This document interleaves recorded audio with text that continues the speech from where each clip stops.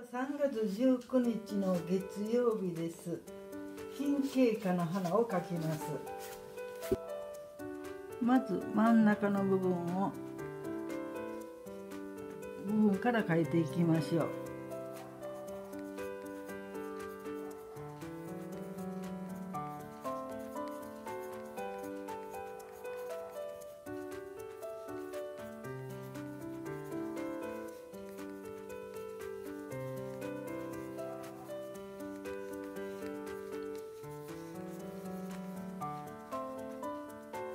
金経花のオレンジのお花の部分をデッサンしました。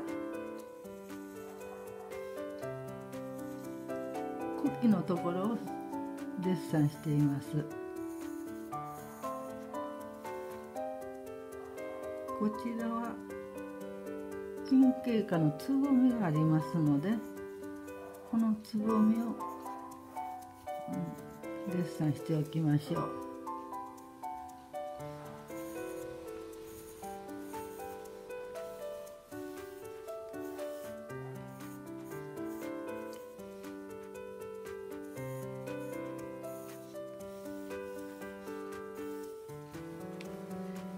金経過のデッサンができましたので彩色に入ります。お花はちょっと黄色のような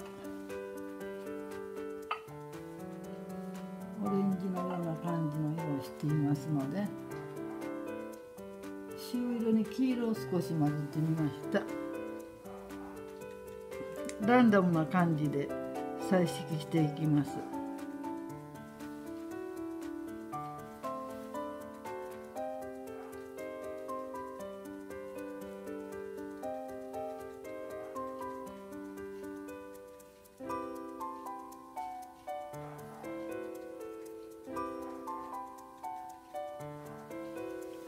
真ん中が少し黒いような感じがしますので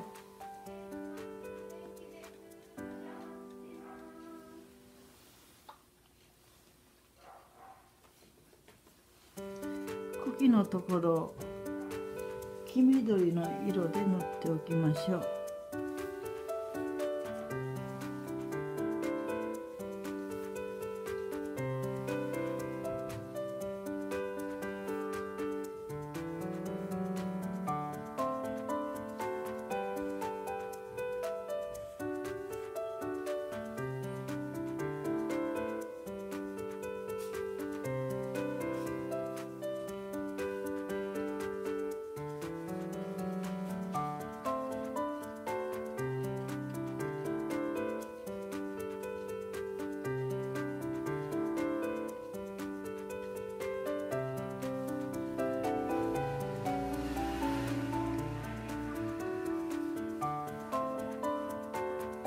これで金桂花の絵が仕上がりました。